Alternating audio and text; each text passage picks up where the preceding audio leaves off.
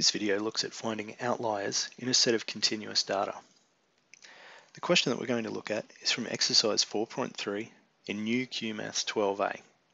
Specifically, we'll be looking at question 2, part C. The question asks us to find any outliers in the following set of continuous data. For, any, uh, for those with outliers, we need to recalculate the mean with the outliers removed and comment on the results. You can see the list of numbers provided there, 104, 88, 110, and so on all the way through to 115. Take a moment now just to read over that question again and get your head around what we're being asked to do.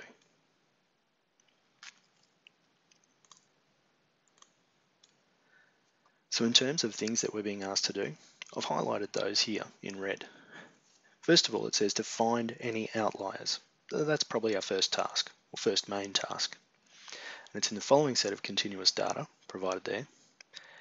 And for those that do have outliers, remembering that this question was given with a number of other sets of data as well, if this set has outliers, we need to recalculate the mean, so that's another thing we need to do, but with the outliers removed. We also need to comment on the results. Commenting on the results will be a matter of just discussing what we find. Recalculating the mean, well that really means that we need to know the formula for calculating the mean.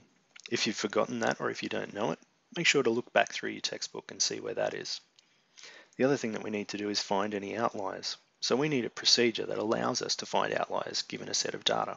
Again, if you're not sure what to do there, have a look back through the textbook and you'll see that there are procedures given in section 4.3 for that particular activity. What you'll find is that there's some key information we need. When we're trying to find outliers, it's important to know whether we have continuous or discrete data. We're told in our question that we have continuous data. So we know what we're doing and we need to follow a procedure that applies for continuous data sets. Taking a look at our textbook, it tells us that when we want to find outliers for continuous data sets, we need to look for values which are more than 2.5 standard deviations away from the mean of the data. So in order to find those outliers, we first need to know what the mean and the standard deviation are. If you've forgotten the formulas for those, take a look back into section 4.1. Jot those down so that we can calculate the value. From section 4.1 in the text, we have that the mean of the data, or x bar, is given by the sum of the x's, or data values, divided by the total number of them. The standard deviation, or sigma, is equal to the square root of the sum of those data points squared divided by the number of data minus x bar squared, or the mean squared. So let's look at calculating those. x bar is the sum of the values. We have 104 plus 88 plus 110 plus 99 and so on down the list of numbers to the end where we have 99 and then 115. We need to add up all of those numbers and divide by the total number of data values. Adding those up, we find that there are 18. So n is equal to 18. With our calculators, we find that that's 1,738 divided by 18, which is approximately 96.6. 96.5 recurring. Next, we need the standard deviation. The standard deviation is given by a square root, and we need the sum, not of x's, but of x's squared. So we need 104 squared plus 88 squared and so on through to 99 squared and 115 squared all divided by again n equal to 18 and then we need to take away the x bar squared.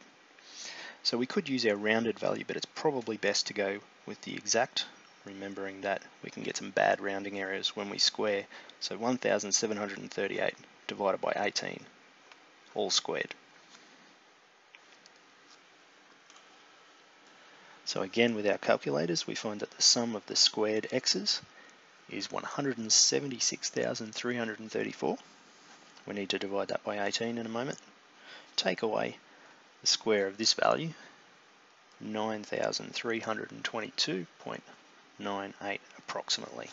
So that is an approximate value.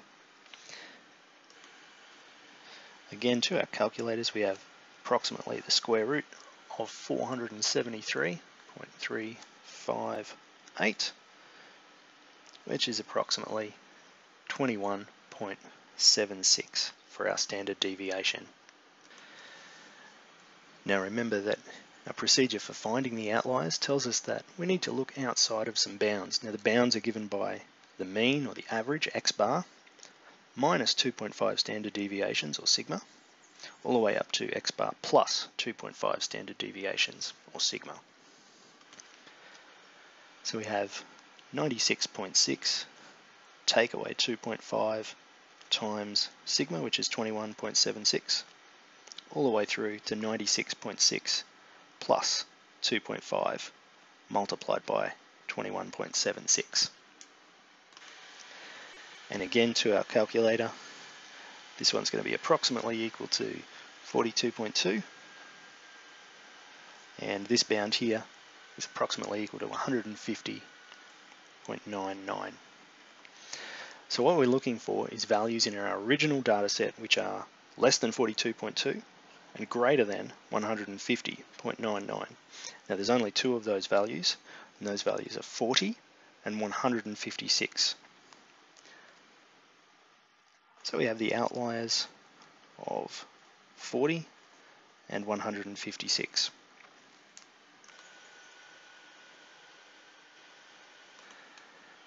Now continuing on with the question, we were asked to look at what is the new mean when the outliers are removed. So it's essentially the same calculation. I'm going to call it x bar with a little r, meaning removed outliers, and it's still the sum of the x's, but we need to remember that don't include those two outlier values. So don't include the 40 or the 156. And we notice that we do have a different n value on the bottom, nr, again meaning with the outliers removed. So nr will be the original n value, which was 18, take away the number of outliers, which is 2, so we should have 16 on the bottom there. So we do that in the same way. So we have 104 plus 88, and so on down the line. But remember, not 40, so I'm going to cross that one out. And again, not 156, so I'll cross that one out. All the way down to 99 and 115. We're going to divide by the new n, n value, which is 16. And going to our calculator, we find that that's approximately 96.4. So the new mean is 96.4. So to answer the question, for the continuous data 104, 88, 110, and so on down this list, the values 40 and 156 can be considered outliers. The original mean was 96.6 and the new mean with outliers removed is 96.4. So in comparison, removing the two outliers has changed the average slightly down by 0.2.